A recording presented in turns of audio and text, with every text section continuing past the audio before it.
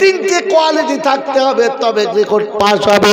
এবার জিরা সোনার আলালেরা, জ্ঞানী জন্য সুদী মানুষেরা মা বাপ তো জোর করে ধরে সুন্নত করিয়ে দিয়েছে। হ্যাঁ না না, ইচ্ছা ছিল? না, ওকে ইচ্ছা ছিল ছেড়ে দিলে মাল পালাতে। তো জোর করে জুড়ে জোর করে শূন্যতা আদায় করিয়ে দিয়েছে। ও শূন্যত ভালোবেসে ছিল না। আর ভালোবাসার শূন্য তোলে মুসলমানের ছেলে মাথায় টুপি না দিয়ে ঘুরতে পারত না। আমার বাপকে আমার শোনাচ্ছেন বন্ধুরা, আমার সোনামণি মায়েরা, বোনেরা, এক জায়গায় জলচা করতে গেছি, জায়গার নাম বলব না গিবদ হবে। বলছে, হুজুর, টুপি মাথায় দেওয়া শূন্য দিলেও হয় না, দিলেও হয়। দিলে ভালো না দিলে ভালো? আইলাম ঠিক আছে, সুন্নত। দিলে ভালো না দিলে ভালো? আমি বললাম হ্যাঁ ঠিক বলেছ। নামাজ পড়ছে দেখি মাথায় টুপি নেই বরাবর চালাচ্ছে। আমি ভাই, মাথায় টুপি দাও। তাই মশাই তাই টুপি টুপি করে ঝগড়া করো। সুন্নত ব্যাপার দিলে হয় না দিলেও হয়। আইলাম বাবজি সত্য কথা বলব? বলছে, হুজুর, বলো। আমার জ্বালা করবে না। বললে, না। আমি তো ওটা কাটলেও হয়, না কাটলেও হয়? আলসুপ করে গেছে। হ্যাঁ তোমার যদি ছুঁচোর ডগ না কাটা থাকে, কেউ বুঝতে না পারলে বাসুরা দেবো বুঝতে পারবে মাল আমাদের না। কারণ খাপ মিলছে না। বউ উঠে গিয়ে নানিকে বলবে, নানি, কি ব্যাপার বলব তুই বুঝতে পারছি না, তুই যা টেস্ট করায়।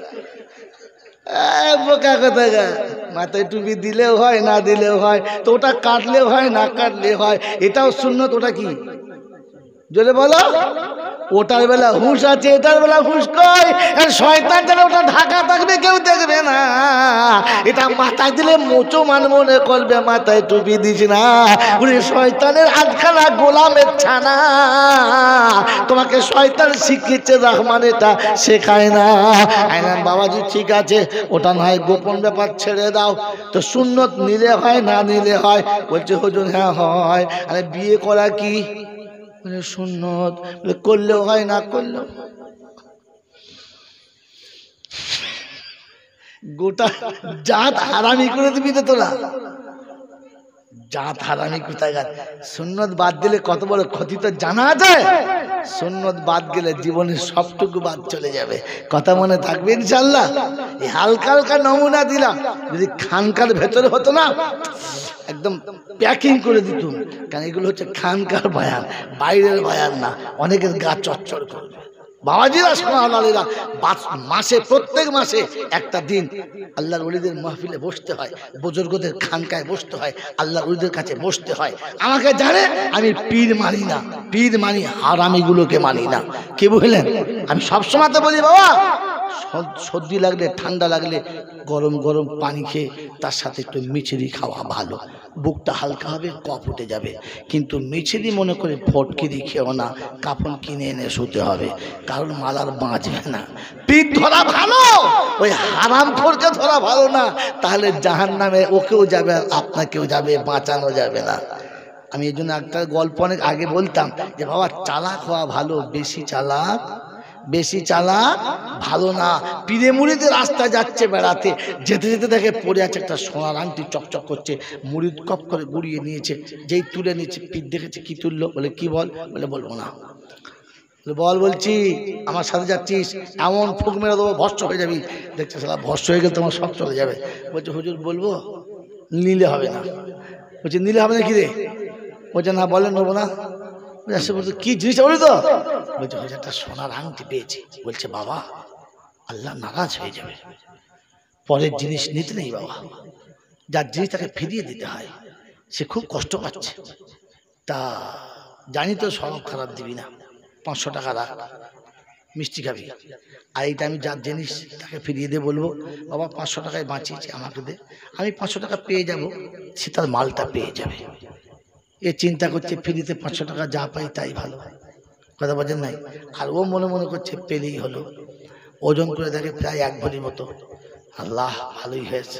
একে পাঁচশো টাকা দিয়েছে ইয়ে পাঁচশো টাকা নিয়ে চলে গেছে। আর ও সোনার আংটি নিয়ে চলে গেছে। কিন্তু মাল কোষ্টি পাথরে মেপে দেখে নাই। দুজন চলে গেছে। আর একজন পাশে মুড়ির ছিল বলছে তুই পাঁচশো কেন দিলেন? একশো দিলে হতো চেপে যাও। বলে কেন? ও যা দিয়েছি, বুঝতে পারবে ঠিক তাদের সময়। সকালবেলা চলে গেছে, বাড়ি যাবে? একবার সকালবেলা কাপড়ের দোকানে কই গো, চাচা দেন সকালবেলা কোথায় দিলি। বলছে, তোমাদের বউ বাবার বাড়ি যাবে। ওঠো ওঠো। বলছে, বাবা, আটটা বাজুগুলো আটটা বাজলে হবে? আটটা বাজলে আমার পিঠটা চলে যাবে, দাও। কি ব্যাপার বলতে, শাড়ি নেব? ও জানে কত নেবে, একশো টাকা, দেড়শো টাকা শাড়ি নেবে। বলছে ওটো ওটো উঠেছে। তো শাড়ি বার করে জানে রিস্কাওয়ালা মাল কত দেবে? একশো টাকা। বলছি, কি শাড়ি বার তোমাদের ভালো শাড়ি নাই? এক চল মার মুখে শয়তান টাকা কি লিবাল ভালো করে শাড়ি দাও। শাড়ি বার করেছে তিনশো টাকা বলে হ্যাঁ এরম মাল দাও। তিনশো টাকার শাড়ি, একশো টাকা সায়া আশি টাকা ব্লাউজ। কত থাকে আর আর কুড়ি টাকা। দিয়ে মাল প্যাকিং হয়ে গেছে টাকাটা দিয়েছে। ও তুলে দেখে পুরো জাল। কি? বলছে, বাবু, সকালবেলা পাঁচশো টাকার নোট দিলি, আমার কাছে তো খুঁজে নাই। এক মিনিট দাঁড়া, বাড়িতে ফোন করি ব্যাগটা নিয়ে আসুক বলে চাষে যাও তার ফোন করেছে। সোজা থানায় ফোন করেছে, স্যার। বলে, কি? সেই দু নম্বরে জাল নোট গেছে, মাল একটা আমার দোকানে এসছে। পুলিশ দেখছে, সকালবেলা এরকম হাত ছাড়া করা যায়? সোজা এসে ঢুকেছে। কোথায়? বলে, চাঁদুর দোকানে। চাঁদুর দোকানে? তোমার দোকানে দু নম্বরই ব্যবসা চলছে। বলছে, না স্যার দেখি পাঁচশো টাকা নোটটা দেখি? তো একদম মাল বলে দিয়েছ হ্যাঁ। কে দিয়েছে? বলে হুজুর, এই দিয়েছে। কোথায় পেয়েছিস? বলছে, হুজুর হ্যাঁ হুজুর। অমনি জামার কলার ধরে মাঘ মাসের শীতে বুঝলেন এসা পেটা পিটেছে, চাদর টাদর খুলে বসে আছে, কপালের দর করে ঘাম আসছে, শীতকালে ঘাম আসছে মারের চোটে বসে আছে চুপ করে। মার খেয়ে কথা বললি মার কথা বলি মার দিয়ে একদম তাকে হাবলু করে দিচ্ছে থানায় তুলে এনে এই ভোরা বেলা তার ব্যবস্থা হচ্ছে। দেখ, কোর্টে জেলে ভরে রেখে দিয়েছে। যা থত থত কাঁপছে, চারদিকে ফেটে গেছে। সেখানে একবার হাত দিচ্ছে আর চিন্তা করছে সারা কি টাকায় পড়ল যা হয় হোক, ওইটাকে বসে আছে, চুপ করে। খানিক বাদে সোনার দোকান থেকে ফোন এসছে, স্যার, বলে, কি? পেয়েছে একটা। ইনি যেই বেলা হয়েছে, চা পানি খেয়ে সোনার দোকান বলছে, সোনা কত করে? ওই ষাট হাজার। বলে, বেচলে কত? বলে, পঞ্চান্ন। বলে, ধরো দাঁড়িয়ে দাঁড়িয়ে পাল্লা বার করো। তুই দাঁড়িয়ে পাল্লা কী হবে? বলছি, ভাই, আমি বেচবো, মাল বার করছি, বার করে সোনা সোনাওয়ালা হাতে নিয়ে দেখে সারা সোনার জিনিস এক ভরি ওজন আলাদা কিন্তু আড়াই ভরি মনে হচ্ছে। সন্দেহ হয়ে গেছে। ঘষে দেখে পুরোটাই লোহা। ওপরে পালিশ করা মাল। বলছে, দাঁড়া দাঁড়া। ও কোষ্ঠী পাথর টানা হয়নি আমার। কোষ্ঠী পাথর টানা হয়নি ফোন করি। পুলিশে ফোন করেছে, স্যার, বলে, কি? বলে, আমি সেই সন্ত জুয়েলার্স বলছি। কি ব্যাপার? বলছে, শাশি, দু নম্বর সোনা পাস করে একটা মাল।